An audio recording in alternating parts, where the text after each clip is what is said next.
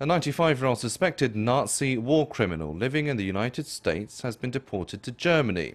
Jakiw Palij lived in New York City and is accused of lying about his wartime work when he immigrated to the US. He has denied allegations that he worked at a Nazi camp, saying he only served as a Nazi guard because his family was threatened.